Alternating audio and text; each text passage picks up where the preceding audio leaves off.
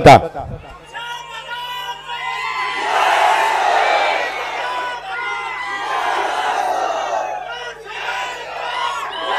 मंचावर उपस्थित असलेले आपल्या सर्वांचे नेते मान्य पवार साहेब आमदार अरुणांना लाड आमदार सुमंताई वैनी भारतजी पाटणकर उपस्थित सर्व राष्ट्रवादी काँग्रेस सर्व पक्षाचे उमेदवार अ, मान्य रोहित दादा सर्व मंचावरील मान्यवर ह्या आबांच्या कुटुंबावर प्रेम करणारे पवार साहेबांवर प्रेम करणारे ह्या ठिकाणी असंख्य बंधू भगिनी मित्र.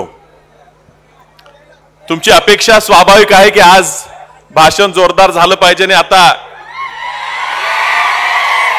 विभूते साहेबांनी सांगितलं की ट्वेंटी ट्वेंटी त्यांनी खेळलेली आहे अजून तांत्रिक मुद्दे भरपूर पवार साहेब मांडतील. पण मी तुम्हाला आज जरा वेगळ्या पद्धतीनं विनंती करणार आहे. माझे वडील वारले तेव्हा मी अवघ्या पंचवीस वर्षाचा होतो.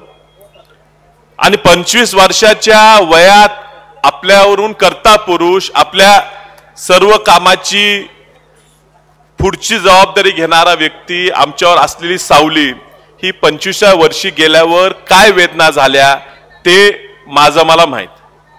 आणि अशा परिस्थितीत काही लोक आपल्या मदतीला येतात. आणि काही लोक त्यावेळेला संधी साधून आपला तरुणपणातच वध करायचा प्रयत्न करतात. आता मी पंचवीस वर्षाचा होतो आज रोहित दादा पंचवीस वर्षाचे आहेत आणि त्यांचे वडील जाऊन आज जवळजवळ नऊ वर्ष झाले. वयाच्या पंधरा सोळा वर्षी वडिलाचा आधार गमावल्यावर त्यांच्या मनात त्यांच्या आयुष्यात काय अडचणी आल्या असतील ह्या आपण फक्त विचार करू शकतो. आपल्याला माहीत नाही. ह्या परिस्थितीत आपल्याकडे वेगवेगळ्या पद्धतीचे लोक येतात. कोण चांगलं सांगते कोण वाईट सांगते. कोण चांगला सल्ला देते कोण फसवायला सल्ला देते. लोकांच्या अपेक्षा असतात. दिसताना दिसतोय पण कवळं मन. कवळं मन. आणि ह्या परिस्थितीत तुम्ही विचार करा. की ही सगळी जबाबदारी फक्त तुमच्या एका मतदारसंघाची एका तालुक्याची नाही. आरार आबा आपले आहेत आपल्याला वाटत होतो आपल्या तासगाव तालुक्याचे आबा तासगाव कवठ्या मंका मतदारसंघाचे आबा. पण आबा तुमच्या पुरते मर्यादित नव्हते. फक्त तुमच्या गोरगरिबांच्या कामासाठी आबा राबत नव्हते. आम्ही अडचणीत असताना वसंतदादा कुटुंब अडचणीत असताना सुद्धा आबा पळून यायचे.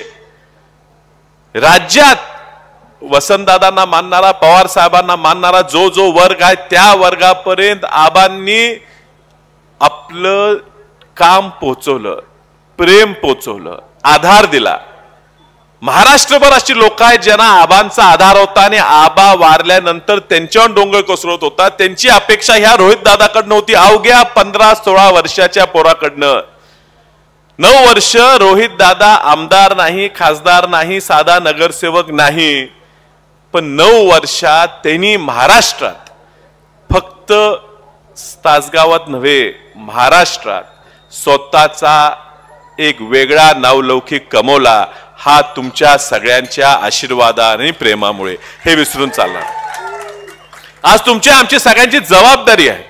एवढ्या तरुण वयात ह्या व्यक्तीला एवढी मेच्युरिटी आलेली आहे एवढी परिपक्वता आलेली आहे. ह्याला सांभाळून घ्यायची जबाबदारी आज तुम्हा आमची आलेली आहे. तो निवडणूक काय सत्तेसाठी लढवत नाही. तुम्हालाही माहिती आहे जो समोर निवडणूक आपल्या विरुद्ध लढवतोय त्याला सत्तेशिवाय जगता येत नाही. सत्तेच्या एवढं हवस आहे की मी मागच्या वेळेस सांगितलं की स्वतःच्या पोराला सुद्धा बाजूला सारून माणूस थोडे आहे त्यांना सत्ता द्यायची असेल तर आपण ग्रामपंचायतीची त्यांना देऊया.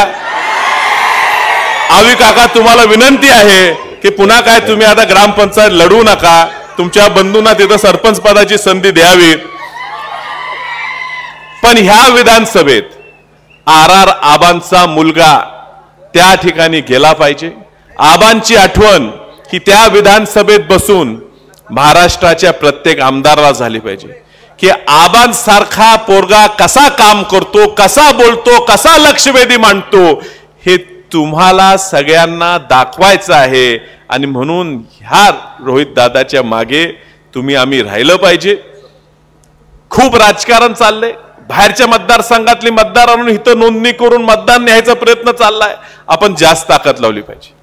इथं घासून काय निवडणूक करायची नाही ठासून निकाल लागला पाहिजे. अशा परिस्थितीत तुम्ही काम करा. रोहित दादाला सुमन वहिनी तुम्ही आम्हाला सगळ्यांना सांभाळलं.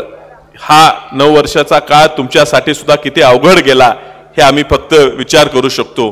पण तुम्ही एक शिवाजी महाराजासारखा पुत्र जन्माला दिलेला आहे आणि हा पुत्र रोहित दादाच्या रूपात हा या महाराष्ट्राला पुरोगामी विचाराला पवार साहेबांचा वारसा वसंतदादांचा वारसा हा महाराष्ट्राला पुढे चालवण्याची जबाबदारी रोहित दादावर आहे. आणि म्हणून रोहित दादाला तुम्ही सगळ्यांनी आपला पोरगा म्हणून आपल्या घरचा म्हणून आपला भाऊ म्हणून तुम्ही सगळ्यांनी सांभाळून घ्यावं.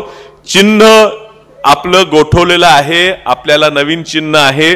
कधी कधी आपणही कन्फ्युज होतो लोकांनी गोंधळून जाऊ नये. तुम्हाला गोंधळात घालण्यासाठी माणसं पक्ष बदलून बदलून उमेदवारी घेतात.